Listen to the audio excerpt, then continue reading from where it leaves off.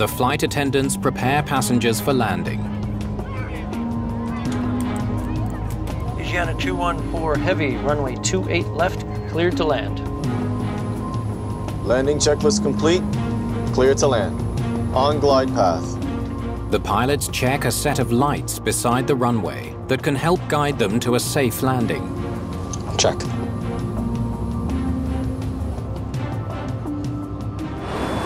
The plane is less than a minute from the runway when Ben Levy realizes something is wrong.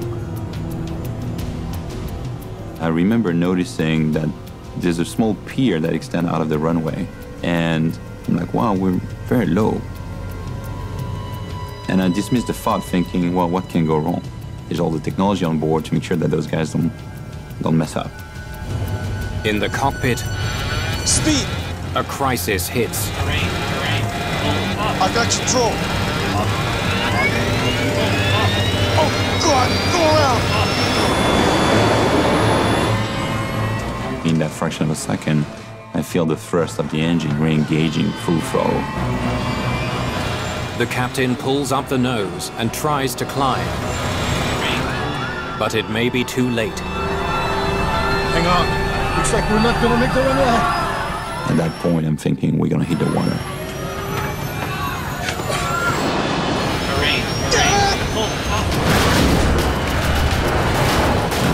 Was very violent.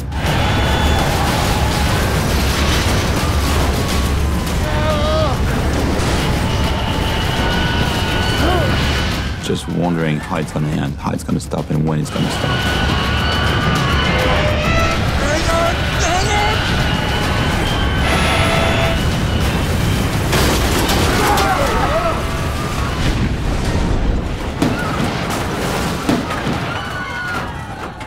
Plane comes to a rest.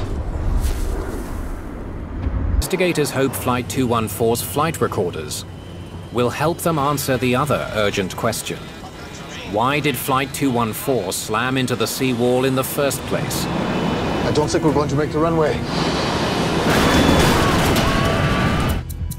Modern flight recorders capture detailed information about virtually every system on board, including the complex automation that helps the pilots fly the plane. We were able to see all the basic things like airspeed, altitude, the configuration of the airplane. We were also able to see all the inputs that the crew made. English carefully plots the data. Most of it looks completely normal. But then he spots something unexpected. A little more than a minute away from the runway, engine power suddenly drops to idle. Right here. The sudden change in power settings makes no sense.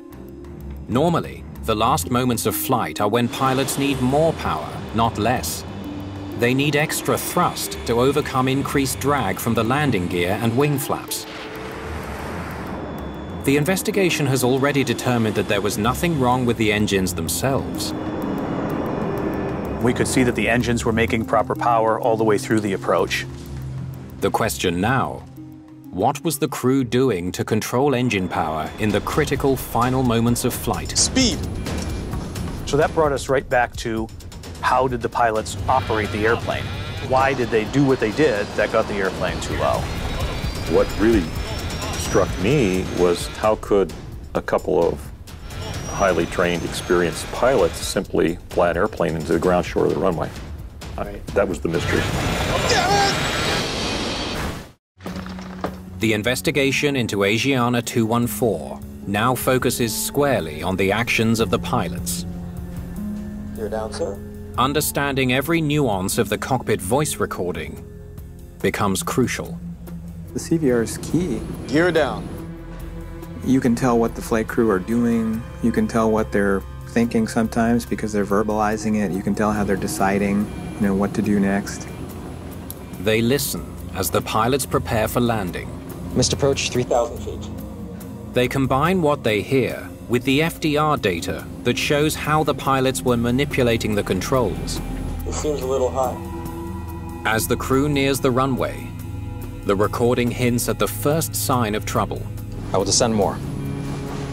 The plane isn't descending fast enough. The captain flying takes steps to fix the problem, but he doesn't explain his actions to his co-pilot. No callouts. How's anyone supposed to know what he's doing? For investigator Bill Bramble, it's a troubling clue. The pilot flying is supposed to actually select things with the autoflight system and call out what he's doing, and the pilot monitoring is supposed to verify that the change has actually occurred. In this case, we saw kind of a breakdown in that standard pattern of communication and coordination. Flaps 20. What the recording reveals next is stunning. Less than 90 seconds before impact, the captain makes an inexplicable blunder. He switches the autopilot to an incorrect setting, flight level change mode. That interrupts the landing and instructs the computer to climb to the go-around altitude of 3,000 feet. He made an entry to the autopilot that at first actually made the airplane climb. Obviously, he didn't want to do that. The autopilot mode switches here. Starts all the confusion. To bring his plane back down, the captain immediately pulls the throttles back to idle, a move with major repercussions. But once again, he doesn't tell the other pilot what he's doing. Not calling out one single action wouldn't necessarily be a fatal flaw, but in this particular case, it had a big influence on the conduct of the flight. It's low. Investigators now understand how the engines got to idle. Yeah. But why would an experienced captain make the mistake of leaving them there? Oh, God. Go around.